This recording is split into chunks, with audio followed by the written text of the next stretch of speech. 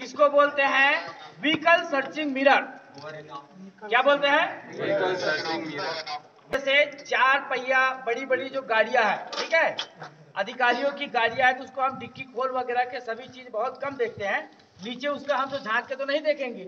तो उसके लिए क्या होता है ये सर्चिंग मिरर है गाड़ियों के नीचे उसको घुसा दिए। ऐसे हल्का से करेंगे तो वो सब कुछ दिखता है ठीक है?